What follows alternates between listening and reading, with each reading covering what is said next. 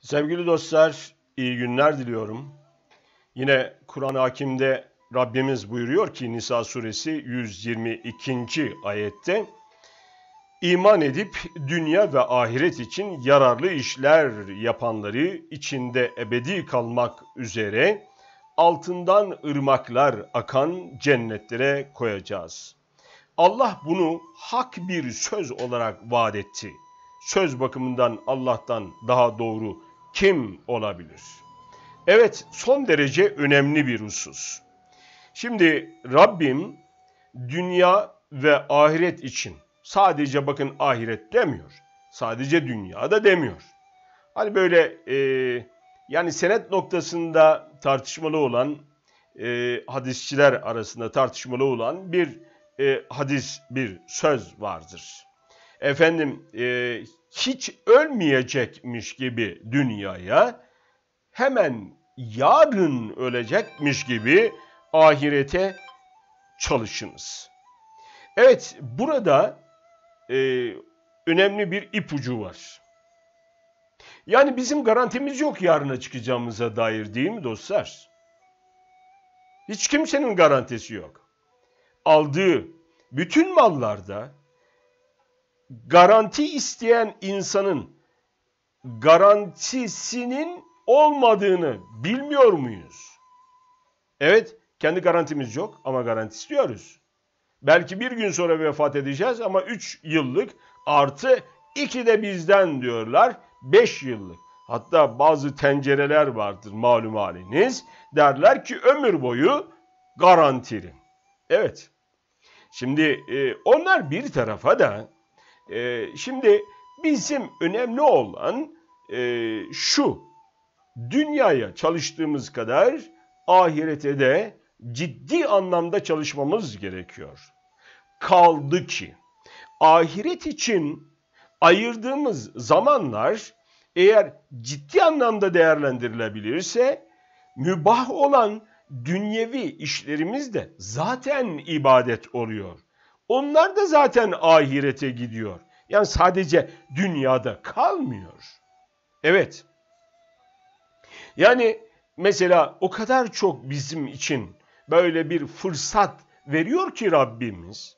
O kadar çok fırsat veriyor ki işte beş vakit namazını kılan bir insan için her bir e, namaz arasındaki yapmış olduğu küçük günahlarının affı veya cuma namazında cuma cuma ile ilgili e, bir takım efendim e, şeyler var. Yani bir cumadan e, diğer e, cumaya olan noktayı düşünün. Her neyse bütün bunlar sonuç itibariyle bizim ahiret için yaptığımız ibadetler yani farzları ve bir takım sünnetleri yerine getirdiğimizde bizim mübah dünyevi işlerimizde ibadet haline geliyor. Uykumuz bir ibadet olabilir mi? Şüphesiz olabilir. Efendim gidip e, yemekten önce elinizi yıkıyorsunuz. Yemekten sonra elinizi yıkıyorsunuz, ağzınızı yıkıyorsunuz.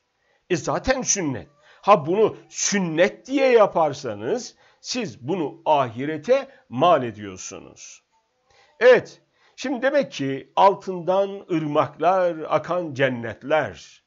Yani e, altımızdan da öyle bir ev düşünün ki alttan ırmak akıyor. Siz o e, ırmağın üzerinde size bir köşk yapılmış ve fevkalade güzel bir tarz içerisinde ama ne manzara canım Allah'ın izniyle. Evet Rabbim bana bakın bu ayette ne diyor? Bunu hak bir söz olarak vaat etti. E Rabbim, Rabbim hiç vaadinden hulf eder mi?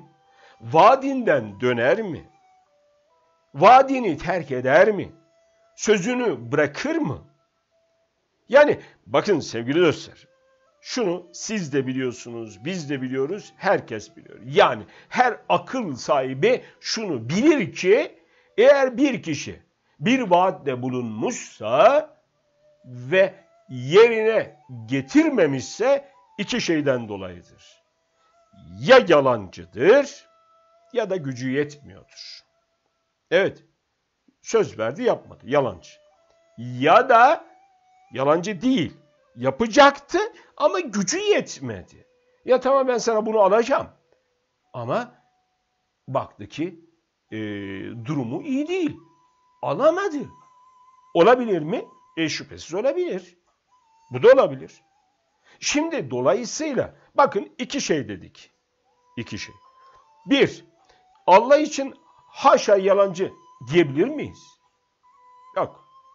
İki, Allah e, tamam verecek de gücü yetmiyor diyebilir miyiz?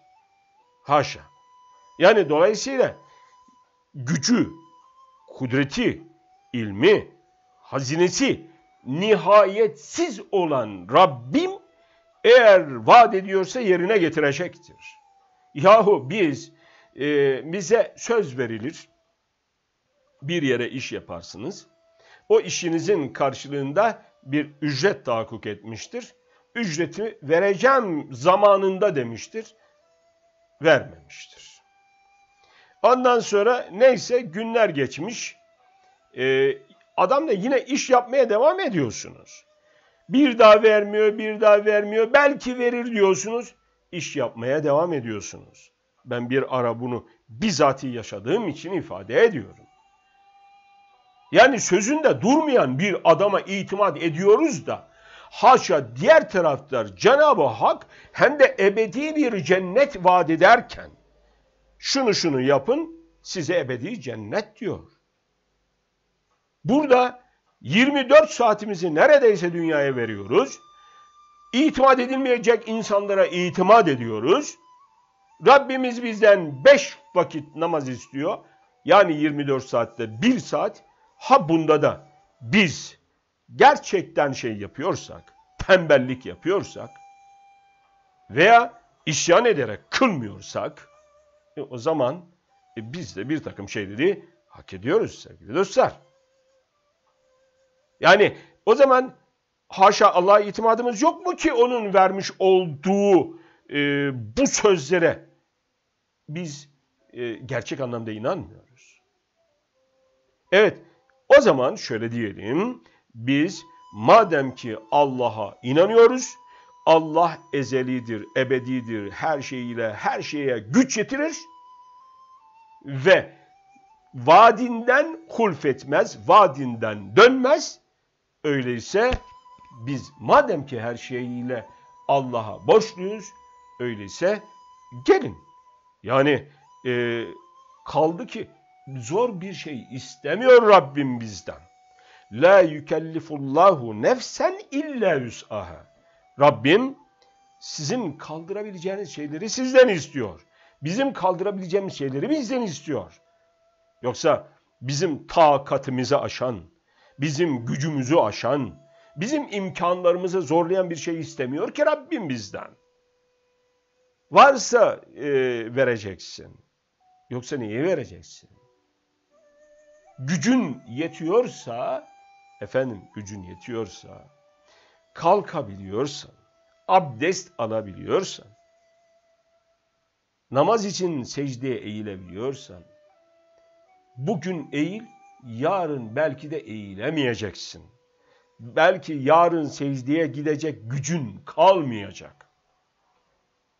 Bugün madem ki Rabbim bunları bana lütfetmiş, o zaman Rabbime aler re'si vel ayn derler ya. Baş göz üstüne Rabbim deyip secde-i şükrana gitmemiz lazım. Ve ayetin biliyorsunuz son cümlesi de şöyleydi. Söz bakımından Allah'tan daha doğru kim olabilir? Evet kim olabilir gerçekten? Evet Rabbim diyor ki Allah'a ve Resulüne iman edenler Allah'a ve Resulüne itaat edenler.